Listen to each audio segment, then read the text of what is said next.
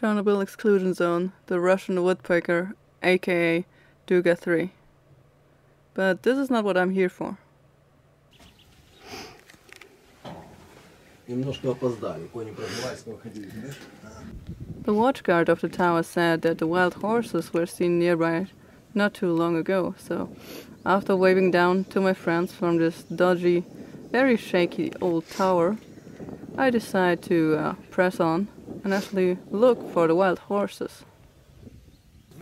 Scanning the horizon, but I can't see them yet. However, our guide knows the direction of them, so let's see if we can find them. And yes, there they are. In quite a distance and behind a hill, but they haven't yet spotted us. Wild horse. And another one, and yet another one joining in. Beautiful animals.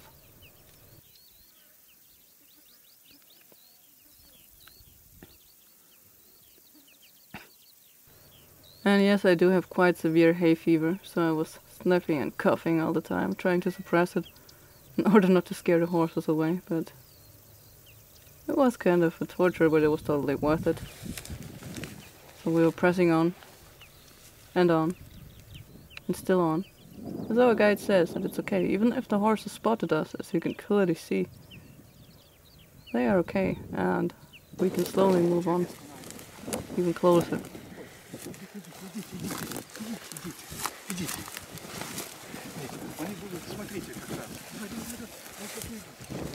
Camouflage helps, but at this point we are quite visible to the horses. There they are on the plain. Can see them quite well.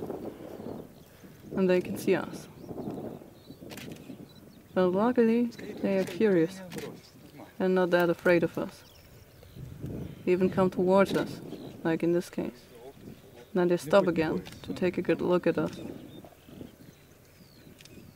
Fascinating, totally fascinating.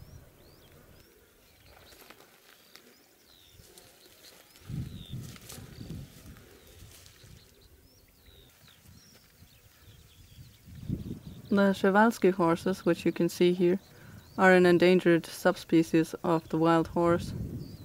They have been artificially introduced into the zone back in 1998.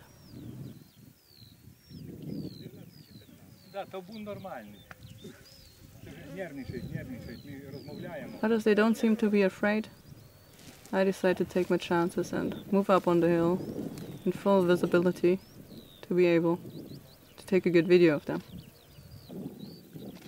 After a couple of the horses that were to be introduced into the zone from a wildlife reserve died due to stress, still over 20 of them were introduced into the zone and uh, lived healthily and had healthy offspring.